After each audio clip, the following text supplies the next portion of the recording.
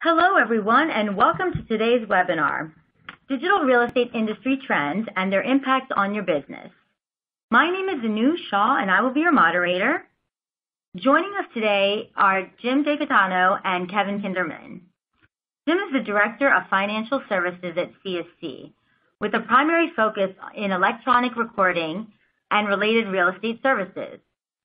Jim oversees national accounts, strategic partnerships, and digital commerce activities. He also plays a key role in our product development and market growth initiatives, contributing significantly to the 270% growth of CSC's recording business since joining CSC in 2012. Kevin is the Director of Sales for CSC's real estate business unit and is based in Wilmington, Delaware. He manages our nationwide e-recording efforts for government recording offices and document submitters. And with that, let's welcome Jim and Kevin. Thanks, Anu. Thank you, Anu. And thank you, everybody, for joining us this afternoon. This is Jim DeGaetano, and uh, Kevin and I will be taking you through the webinar today. Uh, very much appreciate your participation. So um, today we are going to be talking about um, the significant changes and advancements that have taken place in the real estate industry, Um, with specific focus on digital mortgages, e-closing as a subset of that, e-notarization, and then lastly, e-recording. Uh, and then we'll move into a Q&A session. So, uh, I'm based in the Chicago area, and Kevin is based uh, in Wilmington, Delaware, and works out of our headquarters there. So, Kevin, give us a little outline of who CSC is. Sure, you got it. Thanks, Jim. Um, so CSC has been in business since 1899. Uh, we've been a leader for business, legal, financial services, really worldwide. Uh, and today, we even do business with 90% of the Fortune 500 companies. Um, the two CSC founders were attorneys uh, that were actually instrumental in developing incorporation laws. Um, Another little piece of info is we're a private corporation with over 2,500 employees.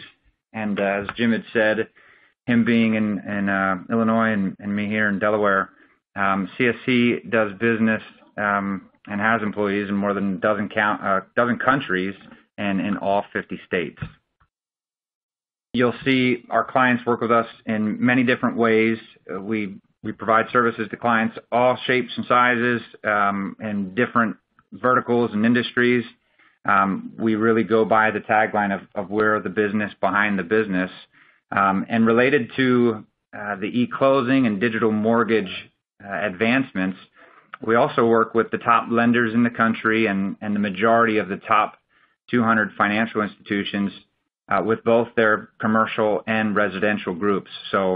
Um, we're in a unique position where we've provided services for quite a long while to these larger corporations that are now taking a position in some of the things that we'll be talking today, uh, specific to electronic mortgages, uh, the e-closing process, and uh, what we see coming down the pike. So Okay. So uh let's let's talk about digital mortgages. Um, so, um, interestingly, the first, I guess, quote-unquote, "digital mortgage" was done back in the year 2000. Um, there was sort of an experimental mortgage transaction done, uh, where there was an e-closing with uh, uh, e-signatures and e-notarization.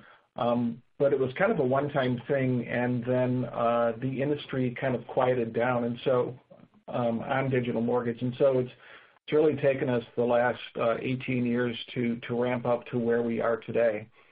Um, when people talk about digital mortgage, they're talking about uh, a mortgage a mortgage that encompasses the entire life cycle of the loan, starting with the loan application, moving into loan processing, um, digital underwriting of the loan, um, e-closing, and then uh, delivering an electronic loan package to an investor. So are we there yet? Not all the way. Some of the parts of that process have been around for a while. Some are newer. Some are just now being adopted. and uh, some are being done just in very small amounts. And we'll talk about those things as we move forward here. Um, but the industry has polled homebuyers to see exactly what they're looking for uh, in the home buying process.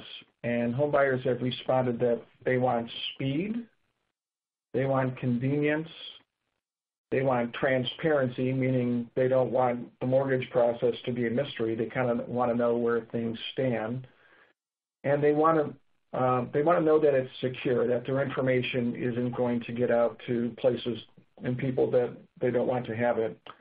And lastly, they do want to have some personal interaction with the experts that are taking them through this process. Um, on the same token, lenders want many of the same things. Um, they want speed. Um, they want accuracy. They want their loans to be compliant uh, with industry standards and, and guidelines and requirements. That's very important. They want to reduce costs and they want to be able to leverage data in a more efficient manner. So let's look at this in a little bit more detail. Um, this, this is uh, this is really the chain. This outlines the chain of the digital mortgage process. And really it begins with a realtor and the home buyer. And as many of you have seen, um, for a long time now, property listings have been online. Um, you can look at line on houses. You can take a virtual tour. Um, uh, all of the pertinent information about the house is online. And uh, you can even communicate with realtors um, online. And then we come to real estate contracts, and I actually had kind of an eye-opening experience. I had not bought or refinanced a house in quite some time, but my daughter bought a house um, about two years ago, and um, she went right from the you know the property listing to executing the purchase agreement online with electronic signatures, and then handling the earnest money um, through um, an online electronic application, uh, which linked in the selling real estate agent, the list, uh, I should say the listing agent, the selling agent, I guess that would be more accurately called the buyer's agent, and then the buyer and the seller. So I, th I thought that was pretty cool. That particular application was called Dot Loop. From there, um, there are many portals that homebuyers can make an online loan application. So they can uh, do data input to take the application, and then that uh, data will move into a lender's um, loan origination system.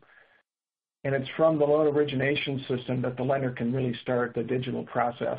Um, the first thing that happens is that uh, the loan disclosures are generated and sent to the borrower electronically and then you move into loan processing.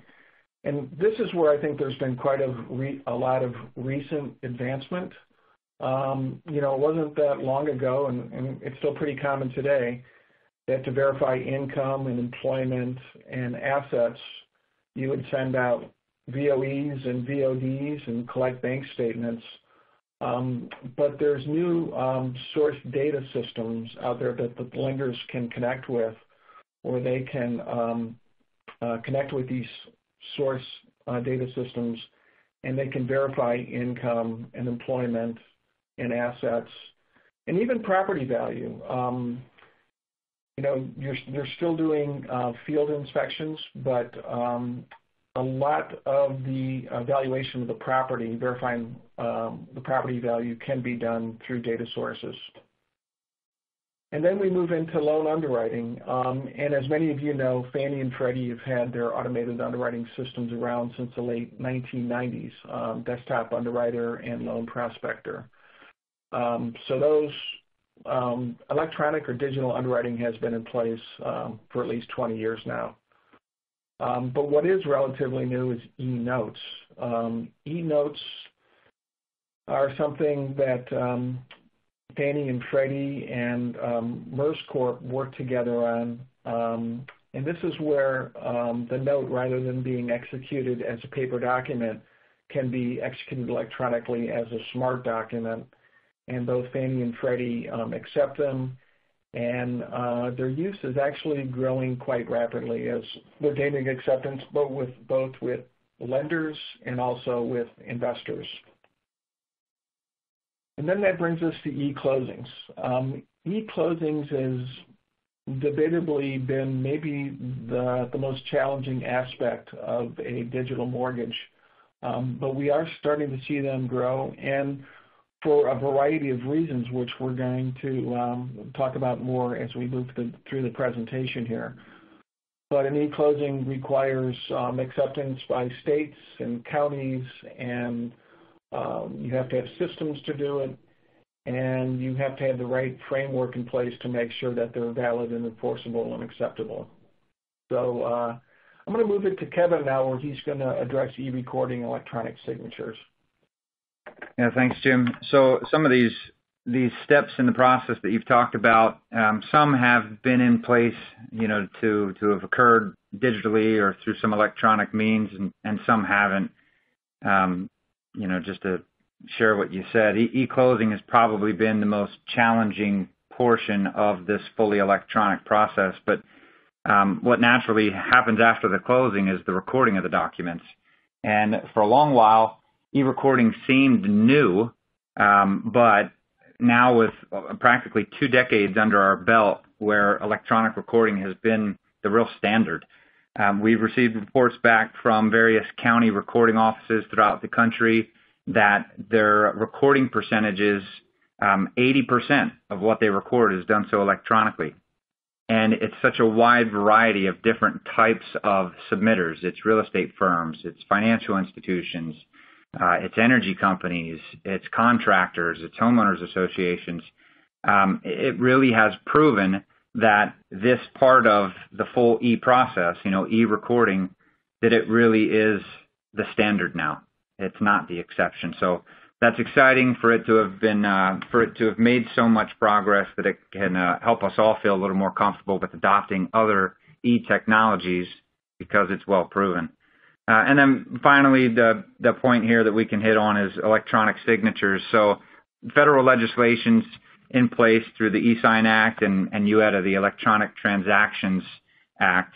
And all, that these do is at a federal level, they provided an ability to uh, equate a wet signature um, that it could be done so now through an electronic means. That that electronic signature holds the same weight, holds the same enforceability as one that was done, you know, through a, a wet pen, right, wet ink. So those are some cool advancements that we can all feel uh, comfortable with. That look, while certain pieces of this digital mortgage process might feel new, there's quite a few elements within it that have been around for for quite a while, and we can feel good about. Uh, and finally, um, we know that the CFPB they've even endorsed e-recording. Uh, the American Land Title Association they've listed e-recording as one of their uh, top pillars of best practices, one of their top seven pillars. So it, it's all uh, information and progress that we can feel good that will hopefully give us even more momentum to keep adopting technology and processes. So Jim, I'll um, I'll kick it back to you, and if you can kind of help us dive into you know the industry becoming more data driven and using electronic means. Thanks, Kevin.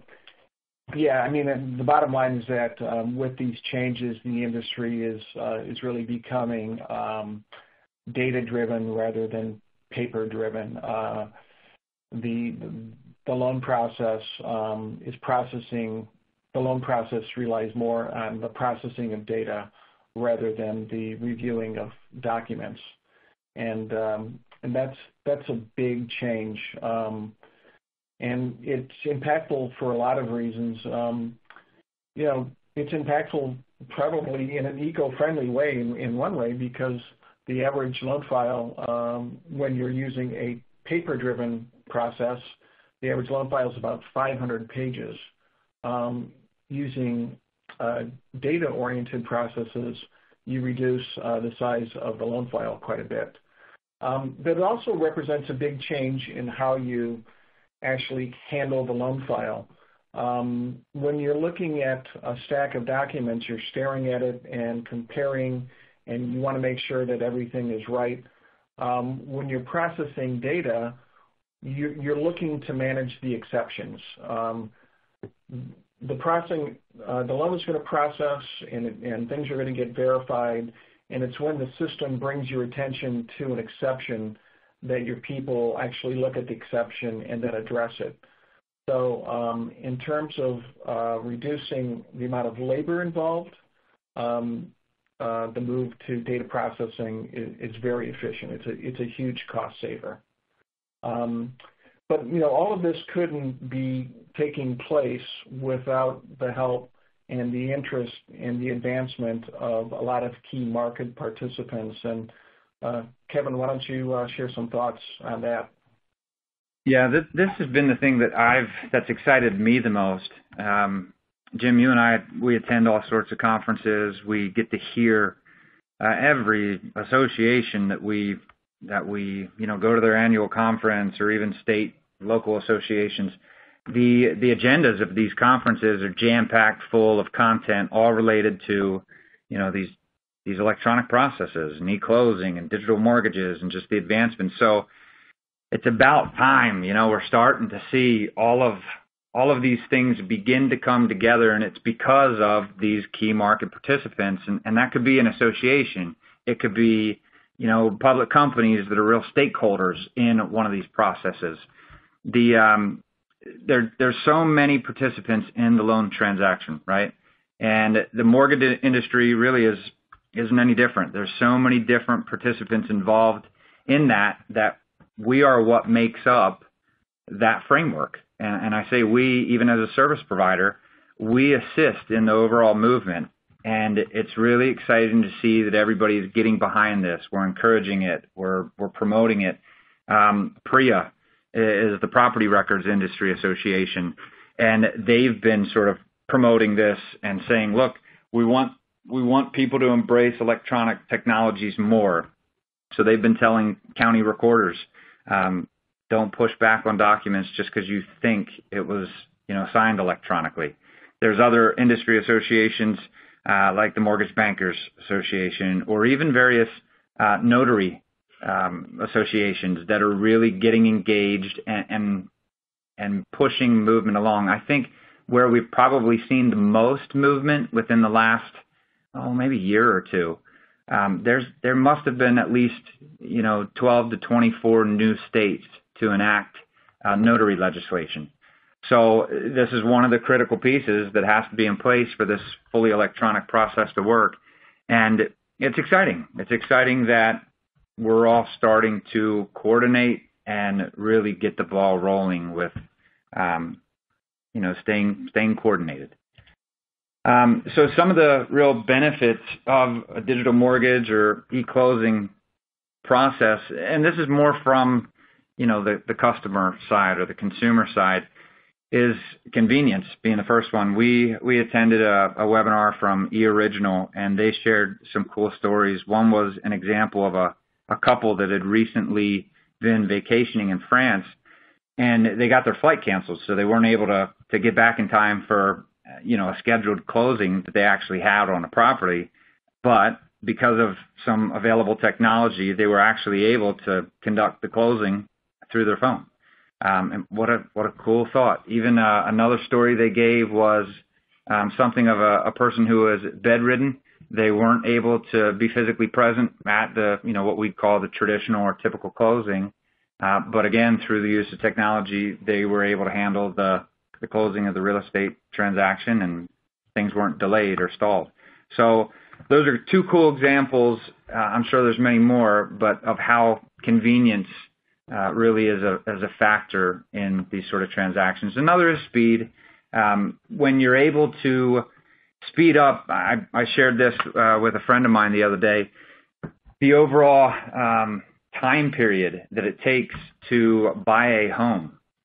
Um, I think when I went through my own process you know, six or seven years ago, I was going back and forth what felt like every single day, probably 13 times, with information that I needed to get. Uh, the appraisal needed to be done. The inspection was complete. What would we go back to? Uh, the lender needs more of this information. And it was exhausting.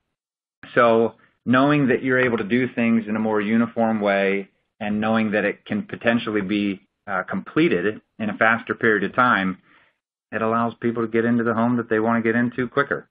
Um, another obviously being security. Uh, there's all sorts of talk about this being such an important factor today, but that's the beauty of technology. The things that we use it for, um, certain data, certain information can be captured. There can be a date and timestamp. There can be a log of all of the actions that occurred from the buyer and the seller and the other involved parties, which actually give an even greater sense of security throughout the whole process compared to the traditional uh, real estate transaction. And, and with that, transparency kind of goes hand in hand. It's a common, it's typically a common platform. You're combining multiple parties on one central application where information can be delivered back and forth. There's a higher level of communication, and it gives everyone a greater sense of peace that this that this uh, that the biggest purchase of their life is going to go smoothly, and that everyone's on the same page. So. Very exciting advancements that we're we're glad to finally see come together, but those are some of the some of the benefits of a digital mortgage process, too. I'm going to uh I'm gonna kick it back to Jim if he has any additional thoughts, but help us dive into some more of the more of the specific benefits uh, with with the digital mortgage process. Sure. Thank you, Kevin. Uh, yeah, now we look at the benefits of digital mortgage and e-closing for lenders uh, and title companies. And again, um, one of the biggest things is the ability to leverage data. Um, Rather than accumulating documents, uh, you can hit uh, data sources to verify income, verify assets, and do property valuations. Um, it's faster, less labor-intensive, lower cost. Um, there's discipline within the system so that you can detect errors or things that don't seem right. If there are errors, they can be brought to the processor's um, attention. You eliminate paper. And the other nice thing is that um, you know a 30-year mortgage is a 30-year proposition, so you are generating data that can be used for uh, the life cycle of that loan, uh, particularly as it moves into servicing. Um, Again, speed, faster loan processing. Um, Not only are you reducing costs, but you're also able to shorten the timeline from application to closing and delivery into the secondary market if you're selling that loan. So a lot of benefits there. Um, if you're closing loans in 30 days, you only have to manage pipeline risk, you know, interest rate risk for 30 days, you know, 40 days, rather than 60 to 75 days. Um, and then also, uh, and we'll get into this a little bit more, um, if you can uh, make loans in 30 days and you're using a warehouse line, that means you can turn over your warehouse line faster, and you can leverage it and leverage your your capital to make more loans. Um, improve loan quality. Um, again, the the digital process enforces the discipline so that you're going to root out any potential errors. Um, oftentimes, it's going to eliminate the possibility of human hand key errors. Um, you're going to end up with um, better, tighter loans. And this is this is good in a couple of ways. One, I think it's going to eliminate or reduce the potential for a loan buyback. And Two, um, it's going to reduce the amount of post-closing cleanup that many lenders are engaged in even today. So um, we've seen some some discussions, we've heard some discussions about Um, how much are people actually reducing costs using digital processes versus uh, paper-based processes. And some of the early studies um, indicate it can be anywhere from $220-$400 per loan file. So um, pretty big amount of savings. And then we get to uh, warehouse lines. Maybe not as important if you're a depository institution, but as we know, there's plenty of non-bank lenders out there that use a warehouse line to fund loans. And um, if you're if you're doing digital mortgage with e-notes, e-notes and e-closings, um, you're able to turn faster on your warehouse line, particularly if there's e-notes. Uh, you can get the e-note to the as soon as the e-note is electronically executed, um, it's authenticated and it can be shipped, um, and it can be transmitted electronically. And um, the loan package can be uh, transmitted electronically to the investor, which just means you're going to sell and fund faster and get a quicker turn on your warehouse line. Um, in fact, there was uh, a study where they were saying that uh, the dwell time, I, I'm not a warehouse expert, but for those of you that deal with warehouses, uh, the dwell time uh, could be reduced potentially from 10 days to two days uh, if you're doing e-closings with, e-notes. Um, okay, better loan sale execution. Um, sure, if you have an e-note and you have an electronic package and you can get it to the investor, faster, um, you can move up the sale on, on your, your loan um, a few days, and that's going to translate into better price.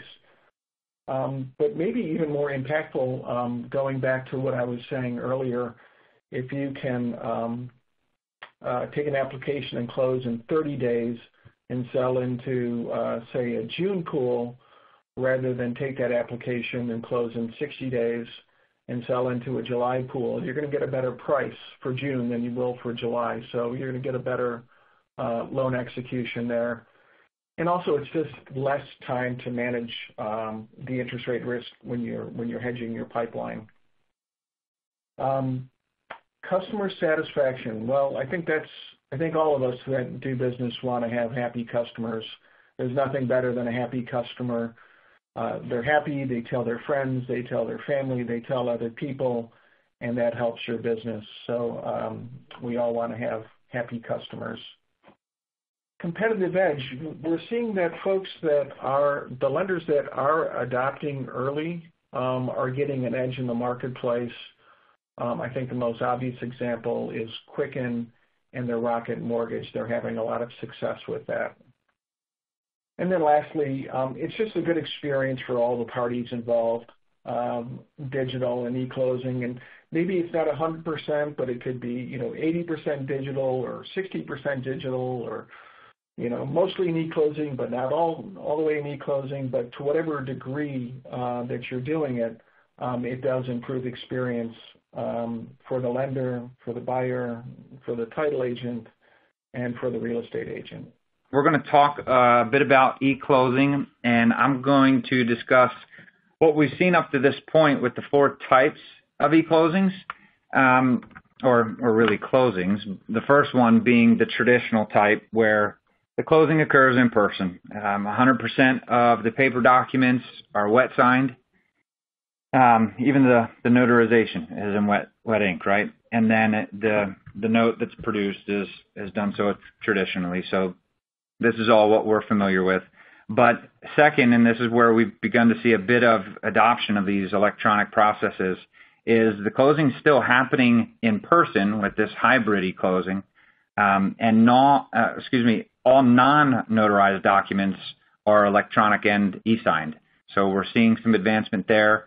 All notarized documents are still wet signed and notarized uh, in person, but then they are able to be the note is able to be produced electronically. So we're, we're seeing a bit of a shift right there. And then up top on the right, um, a new type is e-closing with in-person e-notarization. So you might ask, what in the world does that mean? Um, we use the acronym IPEN, so remember that if you can. But this is an in-person face-to-face closing, and all documents related to the closing are are electronic. They're actually e-signed and e-notarized, um, even the note, and then the recording of the documents are done so electronically. So um, this is one type of e-notarization that's occurring currently. And then after that, this e-closing process where there's a remote online notarization. That acronym we use is RON or RON. This is where the assigning occurs remotely via like a, a real-time two-way AV connection, so an audio video, almost like a webcam. Think of it that way. So the notary public would appear before the webcam and verify the signature took place that way. And then again, all documents are electronically signed and, and notarized. The notes produced electronically and, and as well uh, because of the the maturity of e-recording, um, the electronic recording can happen. So those are four examples of what we've seen up to this point. And Jim, if you can uh, dive into a few more details of where we're seeing each of these types, um, give us some insight as to where things are happening. Sure, thanks. Um, well, if you focus on the uh, the legend to the right with uh, the colors there, I'm going to start from the bottom with the orange. Um, currently, the RON closings, which is uh, involves remote online notarization, are taking place in Virginia and Montana. Um, Virginia uh, law is a little different than Montana. Virginia's law allows its notaries to remotely notarize a document any place in the country. Um, Montana limits its notaries to doing remote online notarization in Montana. So that, that's a big difference. Um, if we move to the gray, you'll see that uh, that signifies that Texas and Nevada have passed or enacted RON legislation, and they're actually going to start doing uh, RON notarization July 1st. So their, their law goes effective July 1st. Um, then we move to the navy blue. That indicates the states where you can do IPEN notarizations. Um, quite a few states there. Uh, some have had long-standing laws like North Carolina and Pennsylvania. Uh, other states, um, and this is that momentum that Kevin was talking about earlier, um, have recently put laws uh, into place um, that allow IPEN, um, including uh, Arkansas and Nebraska and Kansas. Um, and then the teal shows where you can do um, a hybrid closing. Again, that's where you're going to, uh, you can e-sign uh, the non-notarized documents but those documents like a deed and a mortgage which need notarization are still being signed uh, in wet ink as paper documents. And, um, and then the note uh, is, is an e-note. So um, we've been talking quite a bit about RON, and while there's been um, a lot of activity towards IPEN, there's also been even more, I think, momentum towards towards RON. And um, again, RON, RON fits in nicely for the e-closing platforms um, that are out there. Um, so let's again uh, let's look at this map here. Red shows the states that are actively doing RON, which is um, Virginia and Montana. Okay. Teal shows the states where RON will soon go into effect, uh, many of those states uh, in 2019. Okay. Uh, blue shows the states in which RON has been introduced or is being studied. So um, it's it's we are seeing um, a lot of recent uh, momentum amongst the states uh, towards um, these remote online notarizations. So this is where really the rubber meets the road, acceptance of e-closed loans. And, um, you know, it'd be nice to say that you could just go out and universally in any state uh, do a digital mortgage and e-close that loan. Um, but we can't say that yet. We're, we're moving there, um, but we're just not all the way there yet. And, and it really is dependent on all the parties in the transaction. Um, I guess it really starts with the lender. Is, is the lender set up to do digital mortgage and e-closing? Um, you know, more and more lenders are adapting it, but there's a lot that they have to put into place. Title insurance. Um, can you get title insurance for this e-closed loan if you go ahead and do it? Um, again, the title industry is, very strongly engaged in this, um, but they have to do what they feel comfortable doing. Um, and then if the loan is going to be sold to an aggregator or an investor, will, will that entity accept an e-closed loan? And then you have to look at Fannie and Freddie or Ginnie or the Federal Home Loan, Home Loan Bank. What is their acceptance? Will they accept an e-closed loan that has been e-closed, you know, in that state?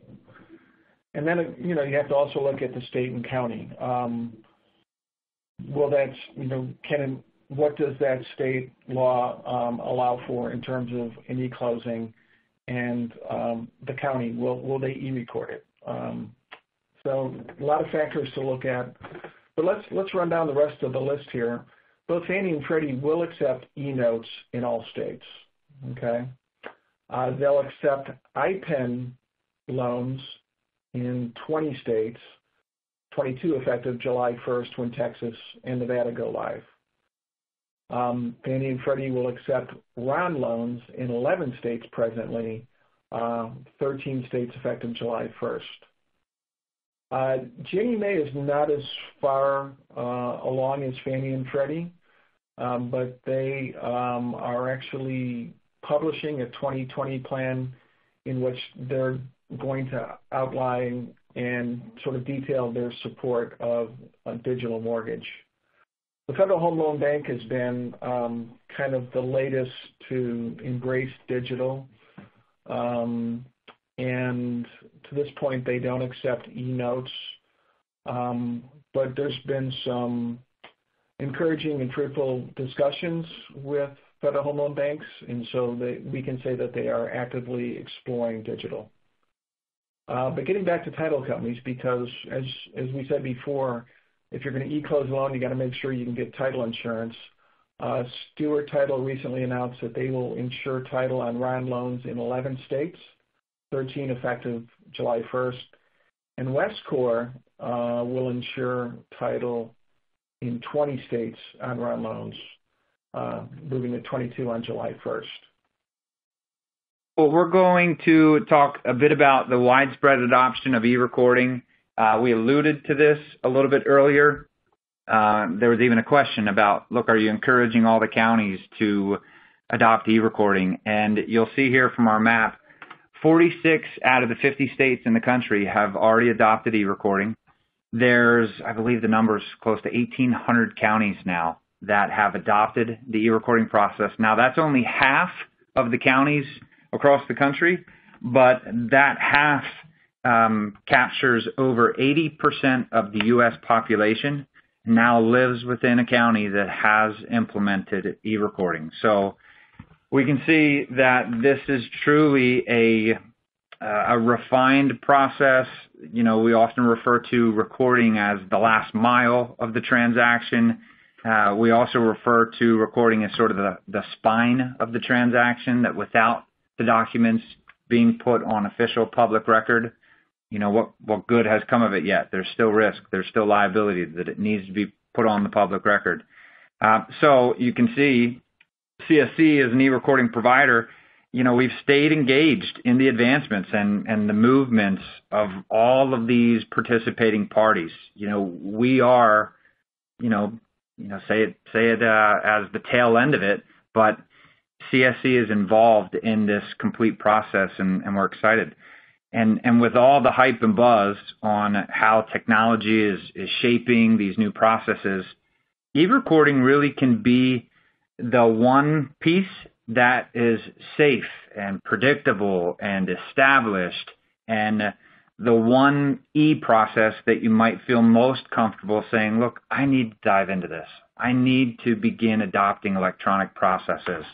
Well, let me start with e-recording. Yeah, it's on the tail end of the transaction, but um, this is the most mature. You know, this has been in place for a while. It's proven. We've done this for two decades.